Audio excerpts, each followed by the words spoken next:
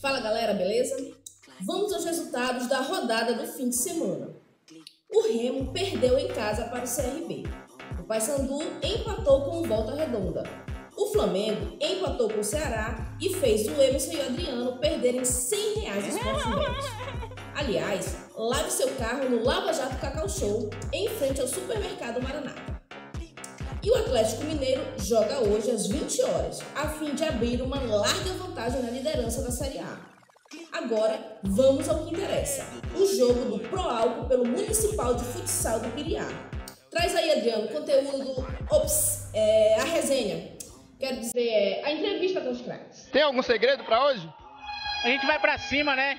É, a gente trouxe dois jogadores de fora muito experientes, considerado um dos melhores do Pará, os dois. Então, a gente espera fazer um grande jogo e conseguir a classificação. Reforço do Pro Álcool para essa partida. Tchuca, como vocês pretendem conquistar a vitória? Sabemos que tu é um reforço, um dos melhores jogadores do Pará no, na modalidade. Como vocês pretendem conquistar a vitória para obter a classificação nessa partida? É, primeiramente, boa noite. É, agradecer a todos aí pelo carinho, você pelo reconhecimento aí. É, toda a galera aí que vem apoiando o Pro Álcool. Sabemos da dificuldade do jogo, né? Temos que, que tirar um placar muito grande para a gente poder se classificar, né? Acredito que vai ser um grande jogo, a outra equipe bem forte, mas é, eu e minha equipe estamos bastante focados. Esperamos sair com esse placar elástico aí em busca dessa classificação aí. Quem foi o artilheiro desse jogo que terminou 12 a 0? Quatro gols, pai! Quatro gols.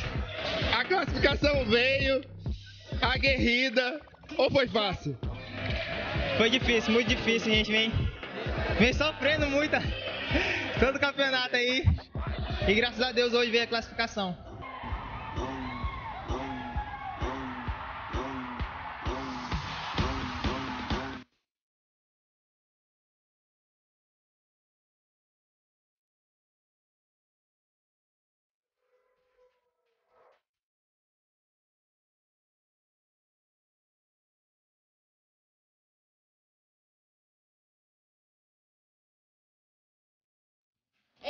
Pessoal. Todo sábado tem rodada do Municipal no ginásio Minas Cefé. Até mais.